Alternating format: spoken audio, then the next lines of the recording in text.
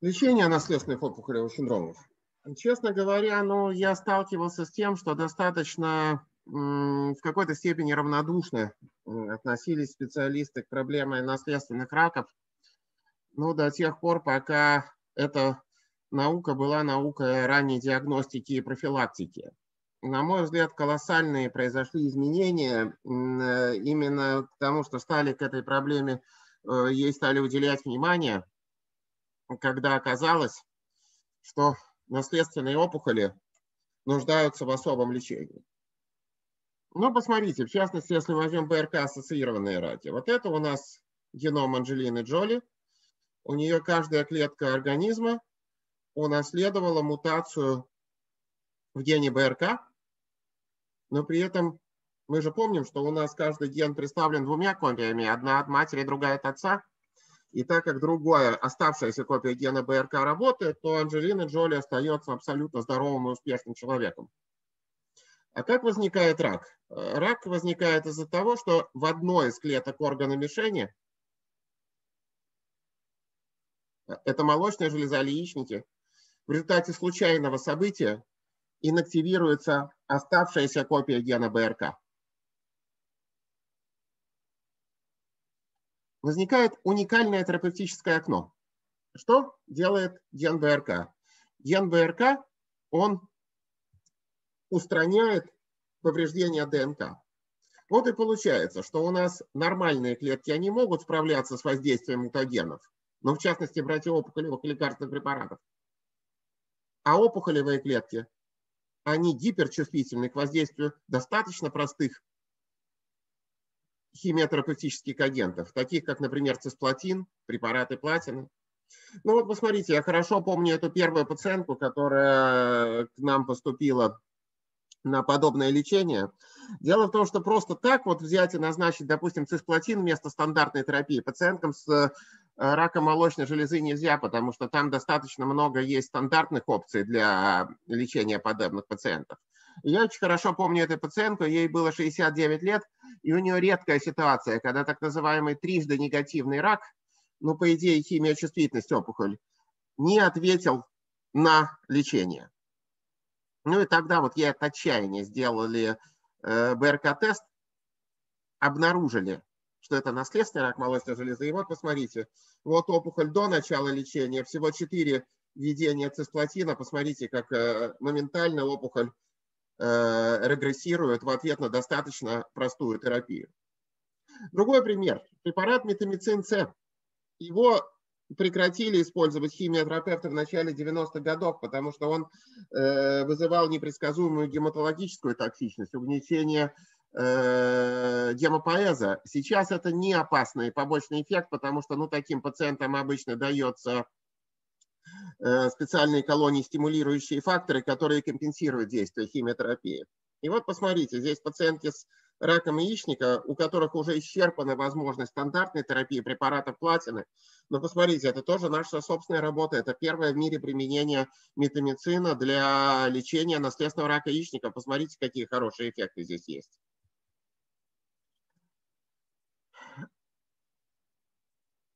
Если мы говорим, что применение препаратов платины для пациентов с раком молочной железы является экспериментальным лечением, то в отличие от рака молочной железы, все пациентки без исключения с раком яичника, они и так получают платиносодержащую терапию. Как мы планировали работу? Мы планировали на самом-то деле э, сравнить результаты подобной платиносодержащей терапии, когда она применяется у пациентов с наследственным раком и когда она применяется у пациентов с ненаследственным раком.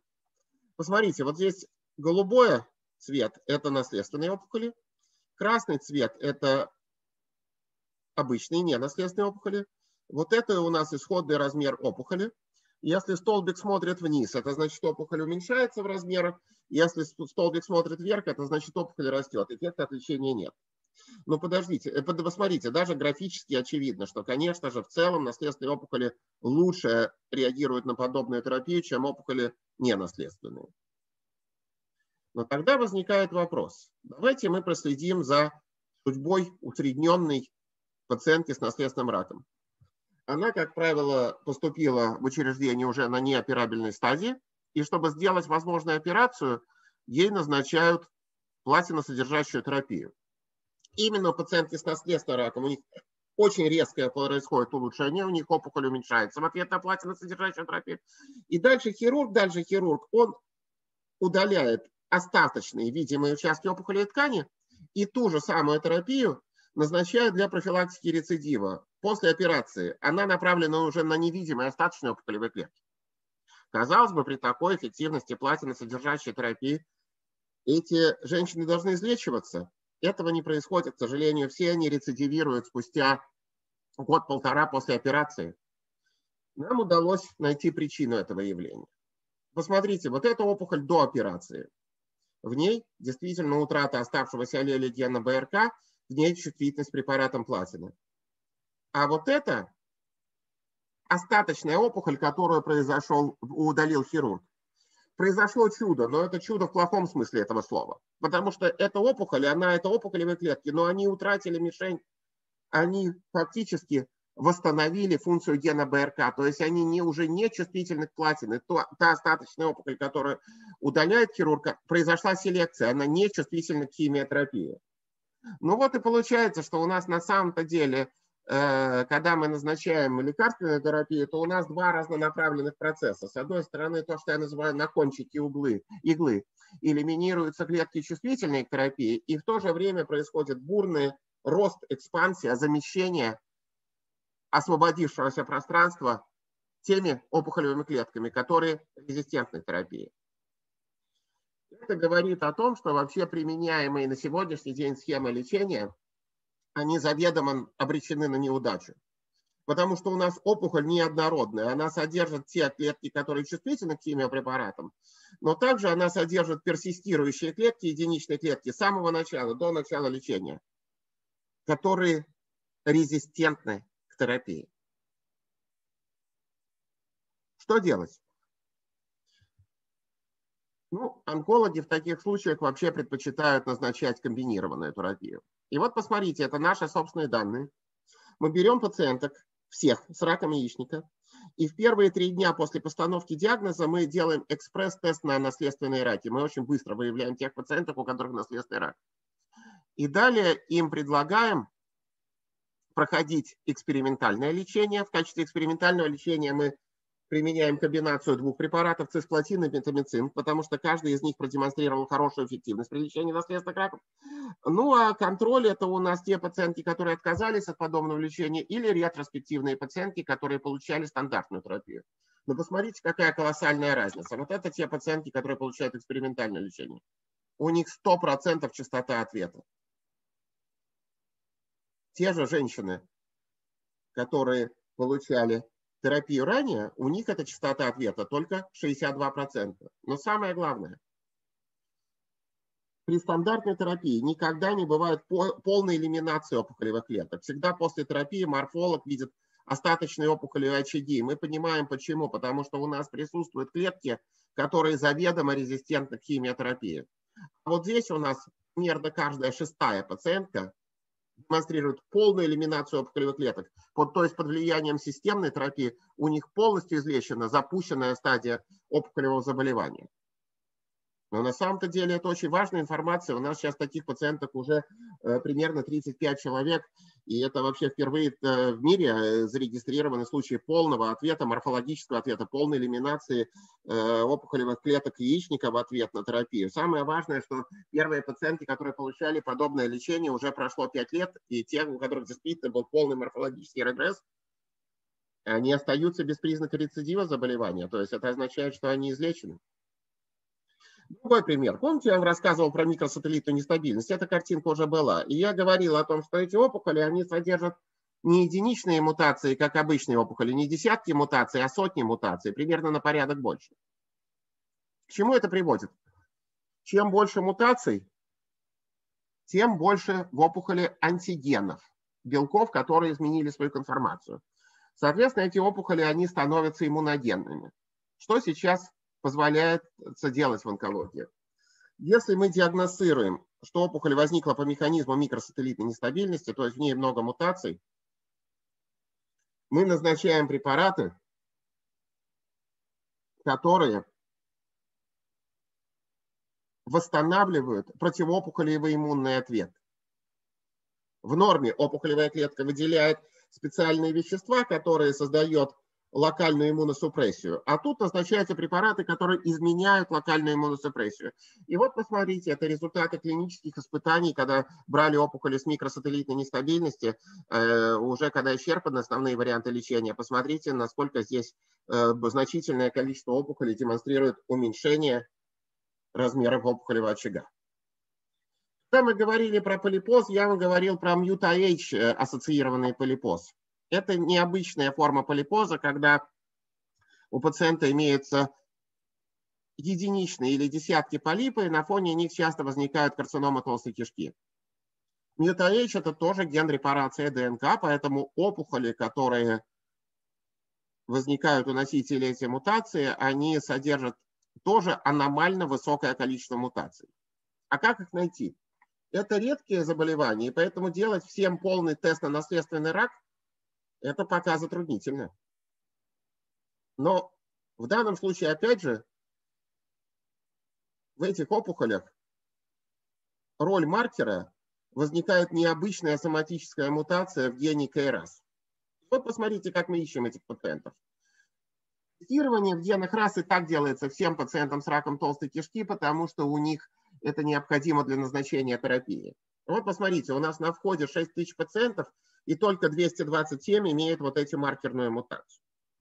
Вот им мы уже мы делаем тест на наследственный рак, и мы нашли определенное количество пациентов, у которых действительно есть мутация в гене MUTAH. Мы знаем, что опухоль содержит много мутаций, мы знаем, что она иммуногенная. Но как нам обосновать назначение экспериментальной терапии? Что мы делаем? Мы фактически сначала пытаемся показать, что эти опухоли имеют значительное количество лимфоцитов, имеет высокую лимфоцитарную инфильтрацию. И вот посмотрите, первая пациентка, которая у нас э, э, проходит подобное лечение, у нее уже исчерпаны все возможности для терапии, мы у нее нашли, что это мьютаевич ассоциированный рак, и она получает иммунотерапию. Посмотрите, какой у нее выраженный ответ на подобное лечение.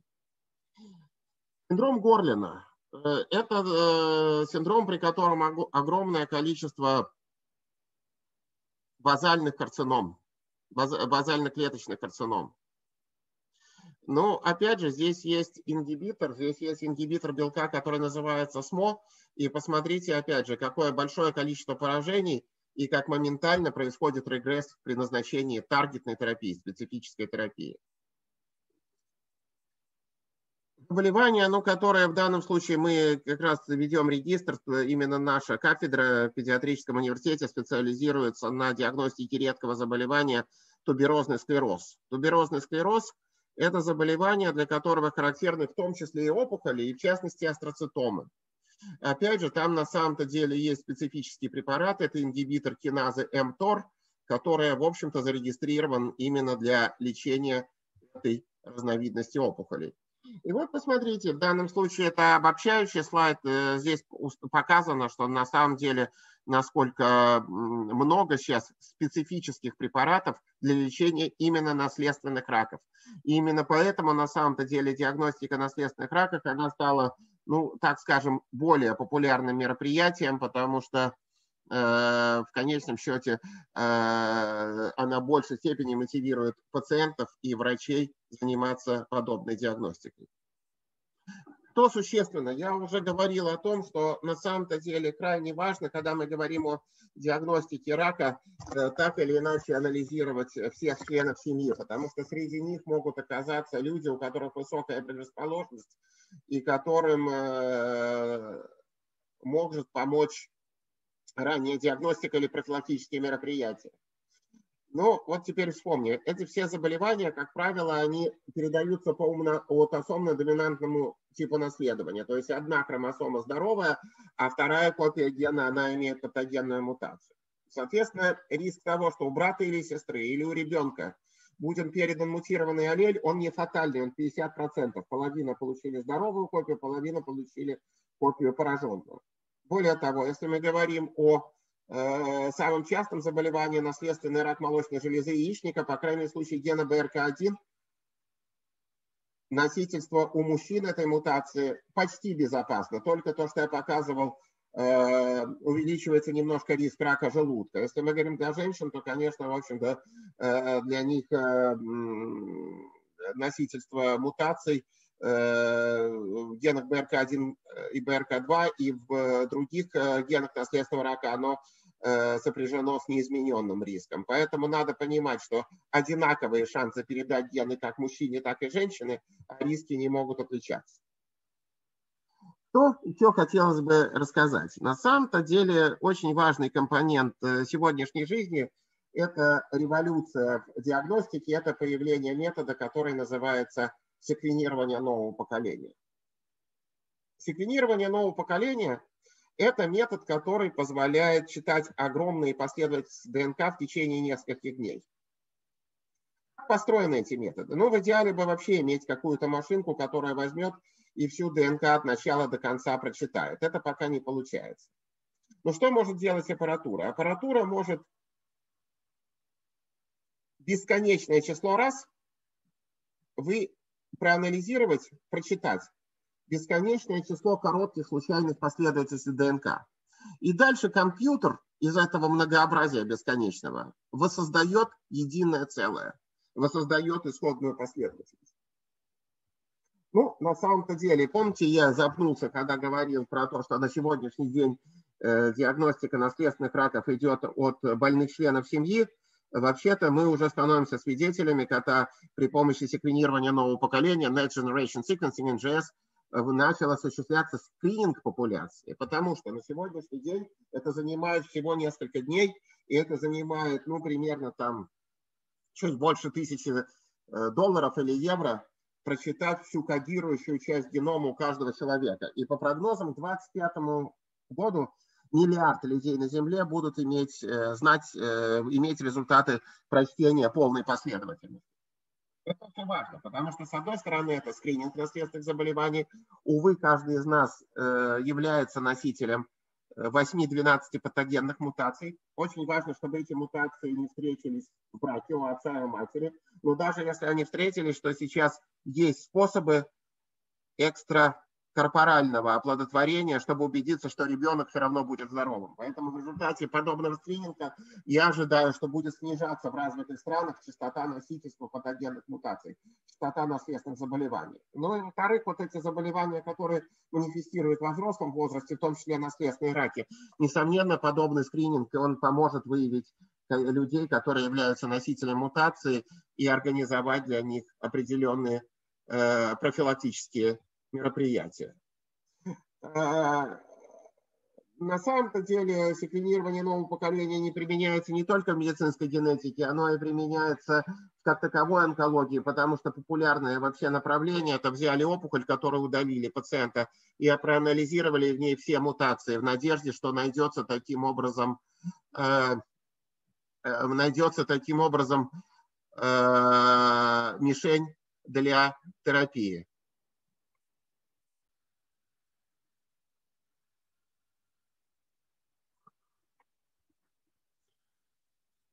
Ну, это на самом деле заключительный слайд.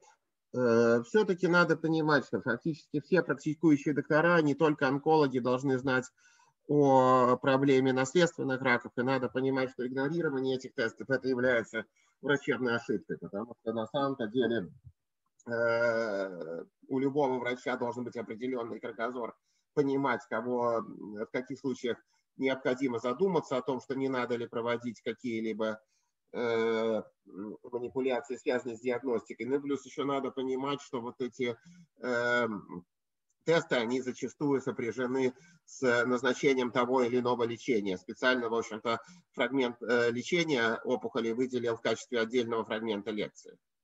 Еще один существенный момент. У нас довольно много тестов на повторяющиеся мутации, на славянские мутации.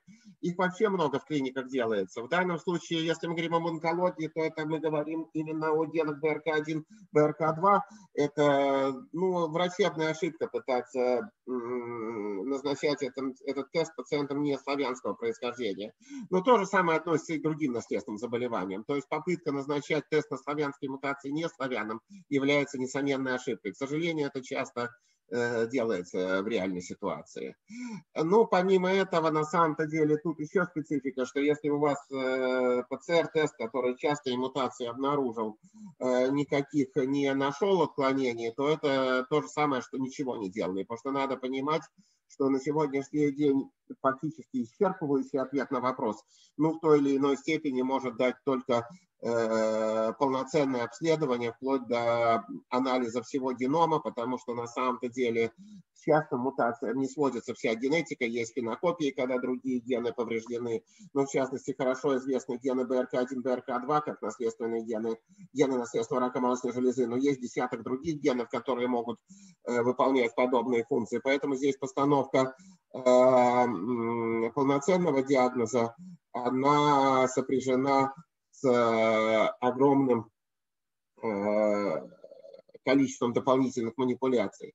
Ну и в заключение нашей лекции я хочу все-таки привлечь ваше внимание еще раз, что колоссальный прогресс произошел именно в отношении идентификации генетических детерминант наследственных раков. То, что наследственные раки являются, несомненно, самой частой патологии в медицинской генетике. То, что когда мы говорим про наследственные раки, то крайне важно подобных людей выявлять, потому что для них есть и мероприятия по ранней диагностике, и профилактические мероприятия, которые позволяют предотвратить либо возникновение рака, либо летальный исход от рака. Ну и все-таки, если брать э, э, внимание обывателей или врачей общего профиля, то э, проблема наследственных раков, она стала значительно более заметной, когда выяснилось, что этим, этим пациентам можно назначать не только какие-то меры по профилактике, по ранней диагностике, но и можно назначать особые лечебные мероприятия, которые имеют достаточно высокий клинический эффект. Э, у нас достаточно затруднено сейчас общение, потому что я понимаю, что лекцию должны, по идее, смотреть довольно большое количество студентов. Довольно сложно задавать вопросы, если они появились. У вас есть э, электронная почта кафедры, сайт кафедры. Если у вас какие-то появились вопросы, не стесняйтесь их задавать.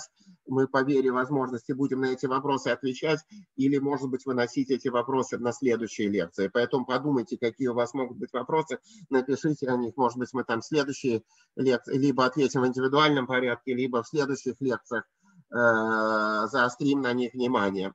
Ну и еще раз хочу обратить ваше внимание на то, что секвенирование нового поколения на самом-то деле очень важная технология. По-видимому, это самое главное событие в биомедицине с момента появления полимеразной цепной реакции, секвенирование э, нового поколения, появление возможности для полного прочтения генома несомненно, несомненно, видоизменит всю нашу жизнь и, э, ну, на самом деле, очень в значительной мере отразится на целом ряде медицинских мероприятий, поэтому, э, когда будет время, посмотрите в интернет-ресурсах, э, то есть вот эту технологию секвенирования нового поколения, немножко понимайте, что она из себя представляет, и старайтесь держать ее в голове и применительно к медицинской генетике, и применительно к проблеме наследственных раков.